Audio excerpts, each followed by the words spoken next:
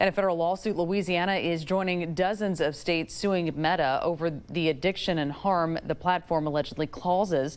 The states allege that Meta, which owns Facebook and Instagram, played a role in harming children's mental health.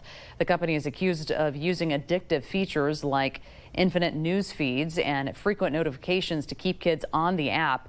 More than 30 attorneys general say Instagram has contributed to a mental health crisis. This lawsuit comes as states continue to study the impact of social media on youth depression and suicide.